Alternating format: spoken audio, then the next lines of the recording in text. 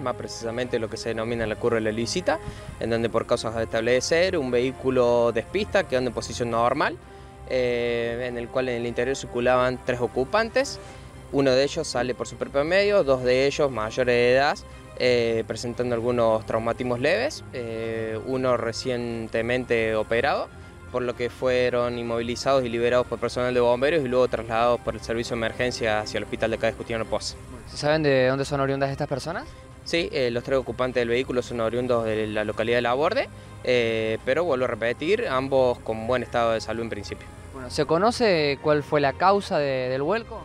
No, no, las causas todavía se tratan de establecer. Bueno, ¿cuántas dotaciones han trabajado en, en este acontecimiento? Eh, bien, trabajó una dotación de bomberos con colaboración del personal policial y del servicio de emergencia local de Justiniano Pos.